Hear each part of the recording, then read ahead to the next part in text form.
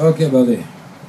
From the book of Matthew, chapter 14, verse 22, all the way to the end of the chapter, which means down to verse 36.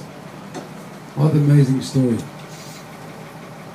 Beside thinking of the story, I want you to think about the message. We're going to read the story in a minute, but I want you to think about the message, what they try to tell us. But Jesus tried to tell us it's something very simple. We all have problems in our lives. We all have storm in our lives.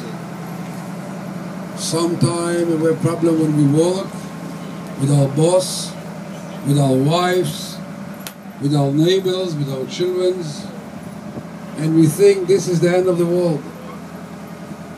And the message of Jesus over here was very clear. Don't give up. So what if you have storm in your life? Trust me, pray to me, and I will take you walking through the storm, and we will pass that together.